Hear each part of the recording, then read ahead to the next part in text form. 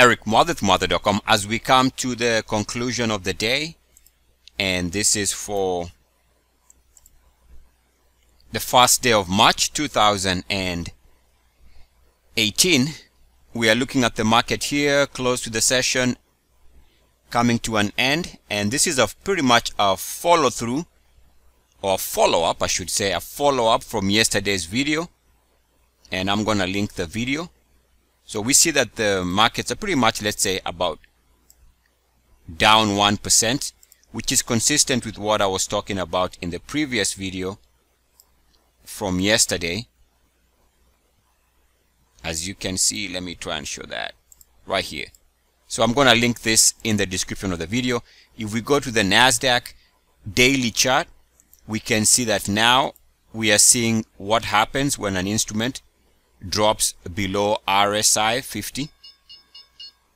There is the market close. And when an instrument drops below RSI 50, you tend to have a reactional move to the downside of some expanded size. And here we can see that the market is pretty much reflecting that. So no surprise. And as a follow-up to the previous video, which I'm going to link in the description, this is consistent with what I was talking about or what looked like could be the possibility. Remember, the market always has the choice to decide what to do. It can always change its mind. And I also talked about the idea that this is where you see an expansion of volatility because at the highs of the day, the market was up I think about 150 points for the Dow only to turn around and drop 400 500 points. At the lows of the day the Dow I, I believe was down about 540 somewhere in that range.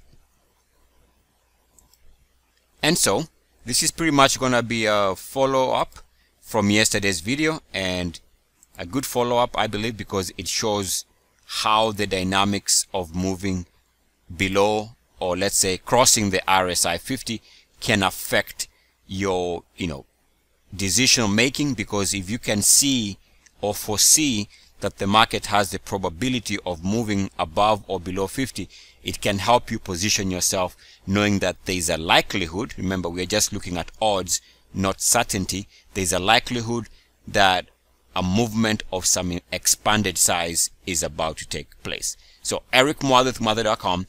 I'm going to link part one, which is this video here in the description of the video if you haven't yet seen it. As always, good luck, peace, and blessings. And one more time, here is where we are settling out for the day. The market confirming more than a 1% drop.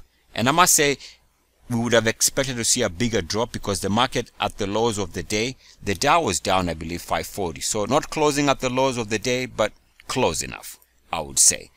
All right, let me pen off. As always, good luck, peace, and blessings. E, I C, S. Mwah.